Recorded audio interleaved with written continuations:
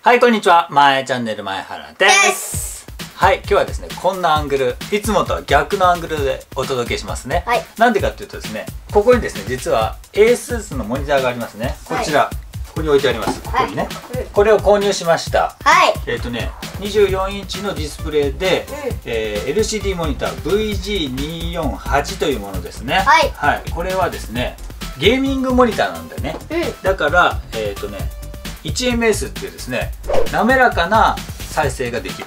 あこのモニターでねうん、テレビみたいに滑らかな再生ができるっていうので、このモニターを購入しました。はいなんでかっていうと、PS4 やりたいから。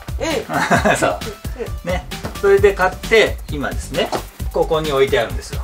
でもね、いつもね、この向こう側にカメラを置いて撮影してるんですよ、うちら。はいだから、このモニター、すごい邪魔。うんうんこれから撮影できないじゃん、これじゃ。ごめんなさい。これにて、マイチャンネル、おしまいになります。違う違う。おしまいにならないよ。YouTube いいかちおいおいおいおいおい。ということで、えーこのですね問題を解決すべくこちらを購入しました。はい。はい、グリーンハウスというところのディスプレイアームですね、うこちらですねこういうね、えーテーブルのこういうところに引っ掛けて、アームをこう出す。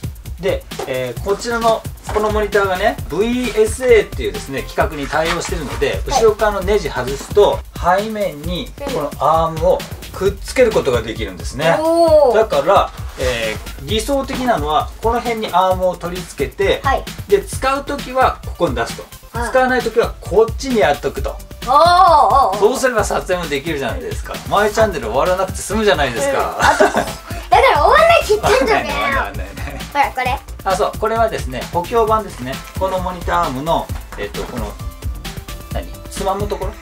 こう引っ掛けるところの補強版を一応購入しました。はい。これねやっぱこの木のテーブルなので重さがかかっちゃうともしかしたらねひび入っちゃったりしちゃうかなと思ったので補強版も一応買っております。はい。はい。同じところでねグリーンハウスというところの補強版でございます、はいはい。ではですね早速これからですねちょっと組み立てていきたいと思います。はい。はい、ちなみにこのね、えーディスプレイアームは VSA の75と100の規格に対応しているということなので、はい。まあできるでしょう多分、はい。あと耐荷重は9キロまで。おこのモーニターは7キロだったかな？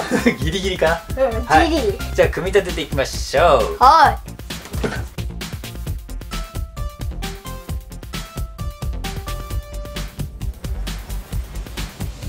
はいということで、えー組み立て終わりました、はい。えっ、とねずーっとねここで私作業してたのでほとんどが私のお尻をね あの皆さんご覧になってたと思いますけどもすいませんね。はい。ちなみにここエイシン君はずっとゲームしてましたけどね。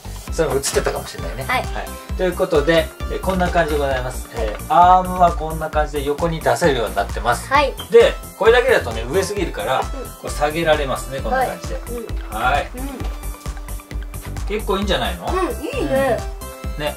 ただもうちょっとね真ん中に来ればよかったんだけどちょっとねひ広いからこのテーブル。おーおーだからあ本当は向こう側が良かったのかな？でもそうするとカメラの邪魔になっちゃうしね。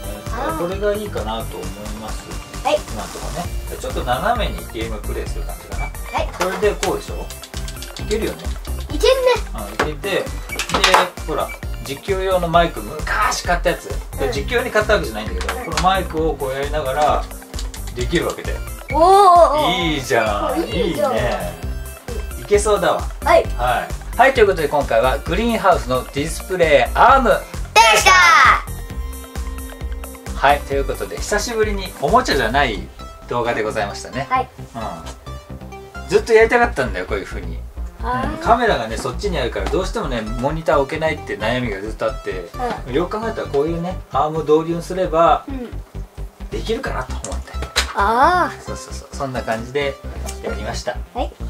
いつもねこちら側に照明があってそれを反射してですね顔に映ってるから、うん。今日はねちょっと影があって暗い感じになっちゃってるかもしれないけど、ん。ご了承ください。はい。はい、ということでですね今日の動画がもし良かったなとかえためになったなと思った方はぜひ高評価ボタンお願いしますねそしてチャンネル登録をしていただくと YouTube のチャンネル登録の一覧にマイチャンネルが出てくるようになりますのでぜひチャンネル登録もお願いします。はい。はい、そしてコメントもいただけると大変嬉しいですね。はい。今日紹介した商品は全部ですね、えー説明概要欄の方に記載しておきますので、はい。えー気になった方はチェックしてみてください。はい。